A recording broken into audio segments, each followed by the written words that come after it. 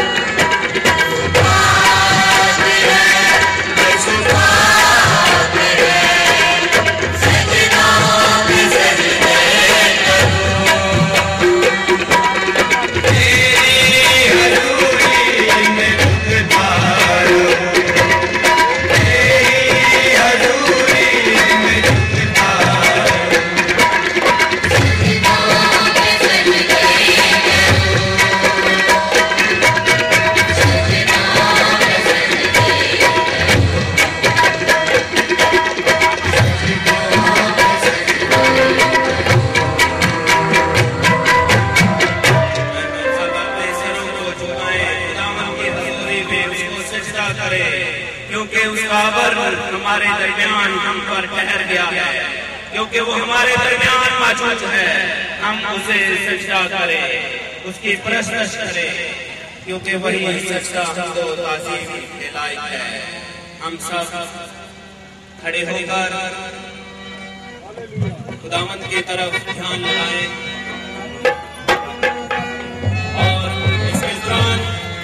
خداوند کو اپنے درمیان ویلکم کہیں خوش آمدید کہیں، کہ وہ ہمارے درمیان ہے۔ اس کا شکر ادا کریں اور خداوند سے پورنمیس کے ساتھ مل کر دعا کریں کہ خداوند ہمارے درمیان آ۔ یہوہ میں پکار خداوند کی تعریف میرے خیال سے آپ نے دل سے خدا کو ویلکم نہیں کیا۔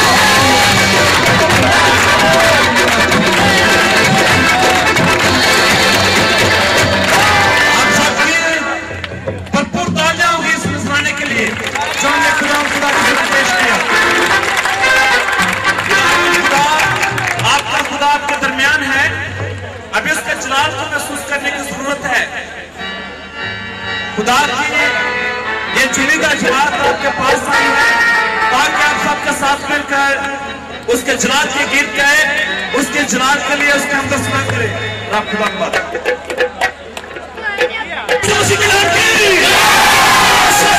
کرنے بادشاہ کے نزدیک آ جائے۔